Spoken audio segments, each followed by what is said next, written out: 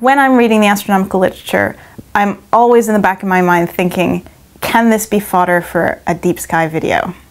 Uh, and so whenever I see something with a Messier object in it, I grab that one and I call dibs on it and I say that's the one I'm going to talk about. Uh, title caught my attention because it had spectacular tails of ionized gas in the Virgo cluster galaxy NGC 4569. And so if something says it's spectacular, I'm going to go and have a look. And sure enough, it was a really interesting paper.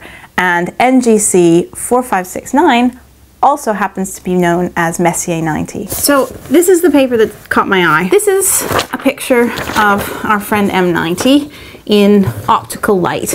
Gorgeous. False color image. It is gorgeous. It's a beautiful spiral galaxy on the outskirts of the Virgo cluster. So the Virgo cluster contains a lot of Messier objects. What you can see is it's it's an example of what we call kind of an anemic spiral. So it's a spiral that's not doing a whole lot, at least not in its outskirts. So it's got these very tightly wound spiral arms, but there's not a lot going on there. There's not a lot of star formation happening, not a lot of new stars being born. That's not the case in the center. The center has a nuclear starburst. It's the opposite. You know, lots of gas being convert, converted at a high rate to stars in the middle. Action-packed CBD, boring suburbs. Yeah, exactly. So it's already a kind of interesting galaxy in its own right. What's interesting about this paper is that when you look at this galaxy in a certain way, using a certain imaging technique, you can reveal a specific component of the galaxy, which is the hot gas. And when we're trying to find out how star formation gets switched off in galaxies, which is a really hot topic and the topic of some of my research, we want to be able to trace not just where the stars are, but where the gas is as well. This is the central region of the Virgo cluster. You see M87, the big giant galaxy sitting at the middle, big round elliptical, and this is our friend M90 up here. This image is what it looks like in H alpha, so that's tracing the hot gas. It's been expanded by a factor of about six just to emphasize the features in this image relative to the rest of the cluster. What you can see is that our beautiful spiral galaxy no longer looks so uh, nice and neat and symmetric. In fact, there's big streamers of gas being pulled out of this galaxy and trailing behind it. Because what's happening is M90 is actually moving through the cluster. It's probably coming from behind and moving towards us, and also the, the way these streamers are streaming out in one direction probably means it's coming from the right-hand side of the image towards the left. What happens when a galaxy falls into a cluster is that it encounters a number of different external forces. It encounters the gravitational potential well of the cluster, which can exert tidal forces and change the distribution of stars in the galaxy. But what you're seeing here is a textbook example of something called ram pressure stripping. Now, what's happening is that what you, another invisible thing that you don't see here, another really important component of this cluster, is a huge reservoir of hot gas. If you look at it in the x-rays, you can see it because it's glowing at millions of degrees. But what that means is when a galaxy comes into the cluster, it essentially slams into this ball of gas.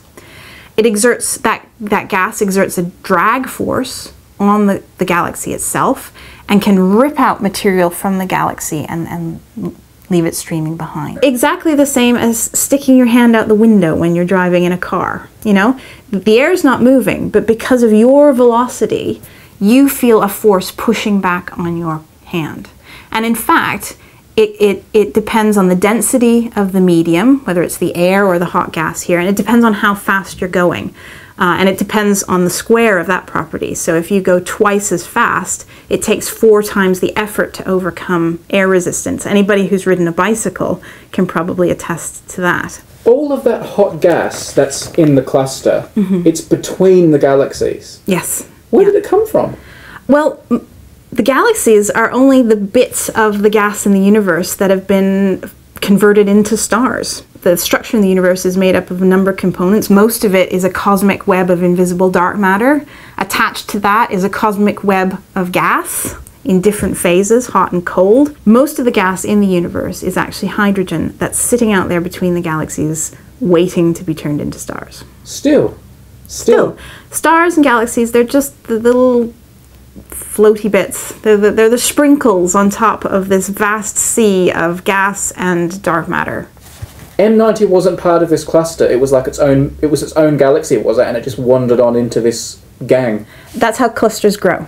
They start small. All structure in the universe starts small, and through the overwhelming force of gravity, pulls in material from around it, whether it's gas or galaxies or dark matter. The bigger the cluster gets, the more it can pull in, and, and it just gets bigger and bigger and bigger. And so it's a very typical uh, experience for a galaxy near a cluster to start falling in. What will happen to this galaxy in future, I don't know. Most of the time, it doesn't have enough velocity to get out of the potential well of the cluster, and so it may be what we call a backsplash galaxy. It may be something that goes out to the suburbs, turns around, and then falls back in, and eventually gets bound and stays the rest of its days, you know, orbiting around the center of the cluster. Um, that's I think probably what's likely to happen, but I don't know for sure. But what's important is what's happened to it on the way, on the journey. Within this galaxy, it's got stars, it's got dust, it's got cold gas from which it forms new stars, and it's probably got a halo of hot gas, a reservoir that, that drains down and feeds future star formation.